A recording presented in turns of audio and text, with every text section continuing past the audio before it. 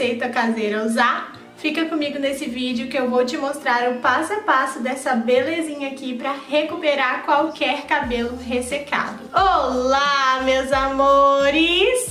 Eu sou Thaís Fernanda e esse é o TF Martins e como vocês leram aqui embaixo, a receitinha de hoje é especial para cabelos ressecados.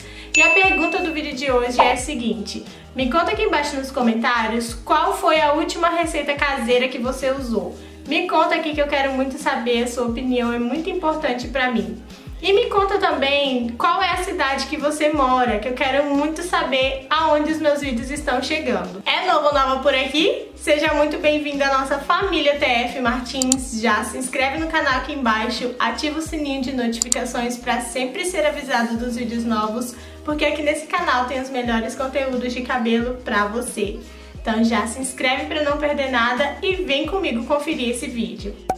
Eu já tô aqui com meu cabelo pronto para receber a receitinha caseira de hoje, mas antes deixa eu mostrar para vocês os passos que eu fiz. Eu preparei meu cabelo com pré-shampoo, porque vocês sabem, né, que eu amo usar pré-shampoo sempre antes de lavar o meu cabelo.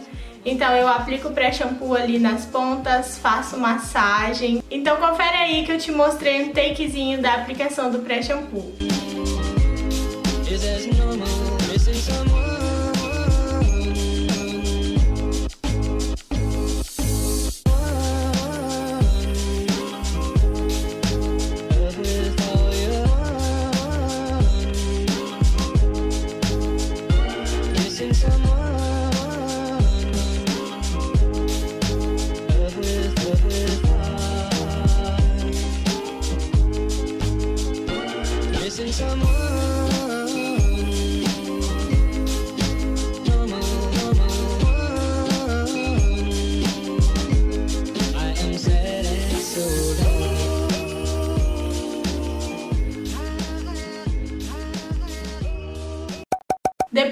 Pré-shampoo, eu venho com shampoo somente no couro cabeludo para retirar a sujeira e o pré-shampoo ainda fica ali nas pontas, tá?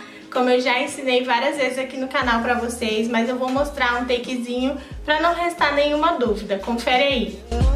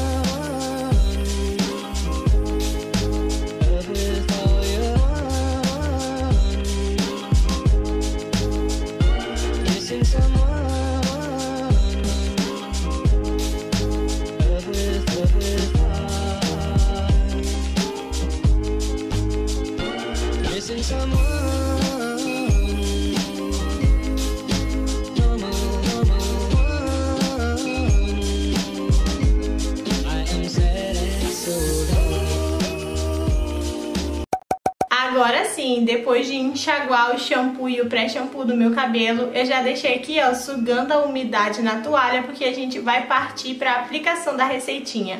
Mas antes, confere aí o passo a passo dessa receitinha maravilhosa que vai tratar o seu cabelo ressecado. Para fazer a nossa receita de hoje, você vai precisar de metade de uma folha de babosa. A primeira coisa é retirar as laterais dela e abrir.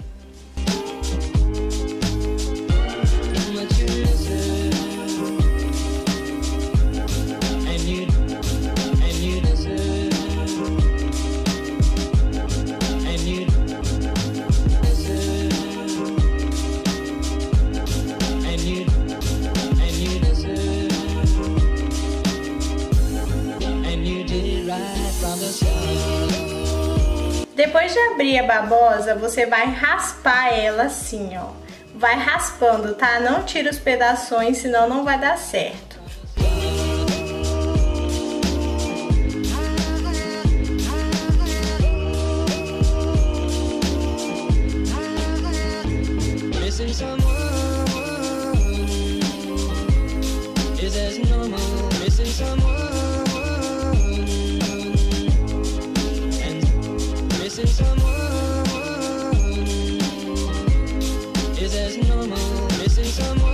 Próximo ingrediente que a gente vai precisar vai ser a maisena. Vou colocar uma colher da maisena. Coloque também duas colheres do seu creme de tratamento.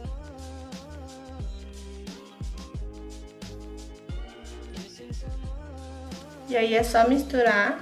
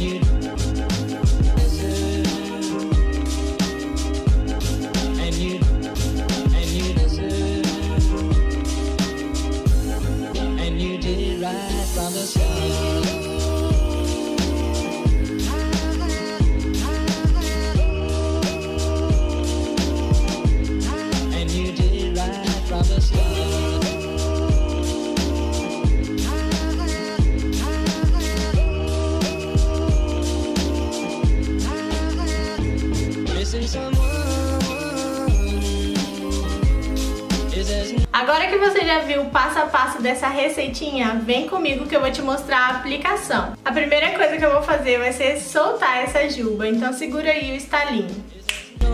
missing